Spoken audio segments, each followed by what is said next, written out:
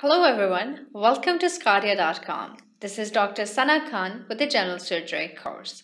We have been discussing in the, in the past few lectures about the pancreatic surgery, the pancreatic conditions, inflammatory conditions, and the carcinomatous condition as well. In the last lecture, we have discussed about the acute pancreatitis, and now today we'll be talking about the chronic pancreatitis. Uh, so let's have a look uh, on the outline of the uh, today's lecture. We'll be talking about uh, different causes for the development of the chronic pancreatitis. Uh, we'll be talking about the types like the acute and the chronic pancreatitis. Acute was discussed already in the previous lecture, but today our main focus will be on chronic pancreatitis.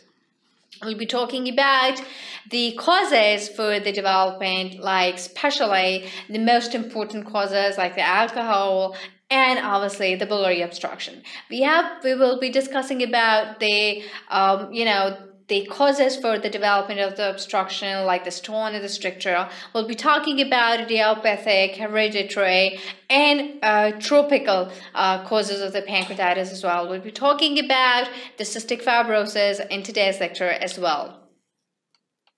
Then uh, we have to discuss about the pathophysiology for their chronic pancreatitis although uh, there's no known definitive uh, mechanism uh, like, like well known to be accepted everywhere but there's some kind of the hypotheses uh, which are uh, being generated to to explain the process of the development of the chronic pancreatitis. So we will be discussing those hypotheses um, today in our lecture as well like the oxidative stress, the toxic metabolite, and some kind of uh, typical hypothesis like the SAPE hypothesis will be discussed.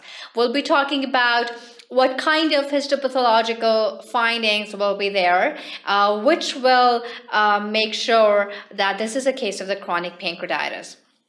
Then we will be discussing about the clinical features and how you are going to differentiate between acute pancreatitis and chronic pancreatitis depending upon the clinical features.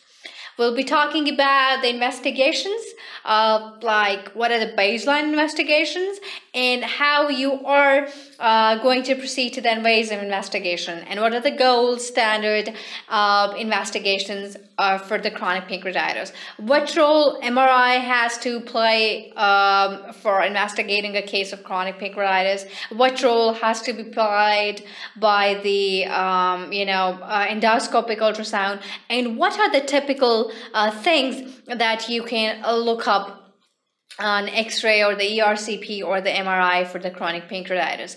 Then we'll be talking about the treatment strategies, especially the medical treatment and the surgical treatment. In the medical treatment, we'll be talking about uh, especially the pharmacological measures, the supportive measures, uh, the nutritional support, and what kind of psychosocial therapy you have to provide um, uh, to the to the to the case of the chronic pancreatitis, as these patients have uh, severely uh, badly affected professional and social life.